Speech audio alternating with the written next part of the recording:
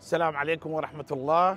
اليوم معاكم الأستاذ عبد الخالق الخازم مدرب دولي معتمد راح أتكلم عن بعض النقاط المهمة لدى السياقة وإن شاء الله تستفيدون منها. لطفا تابعوا معي الفيديو.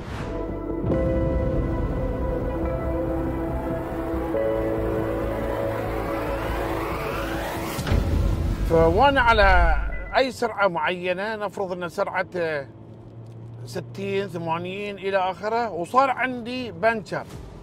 النقطة الأولى عدم الارتباك والتخوف هدى من أعصابك هدوء الأعصاب. اثنين راح أمسك المقود مسكة قوية ومرنه علشان ما يفرط المقود من يدي. النقطة الثالثة أفرمل بهدوء وأترك الفرامل.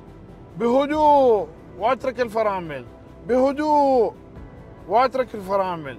قلنا مع المؤشر الدبل سكنير ليه ما أخرج برا واوقف بأمان والحمد لله على السلامة وبإمكانك تتصل بالطوارئ علشان آه، يعني يشيلون سيارتك بالرافعة وبالونش وإذا كان في مكان خطر تتصل بالشرطة علشان يأمنون لك المنطقة وما تسبب حقك أو حق مستخدمي الطريق الحوادث.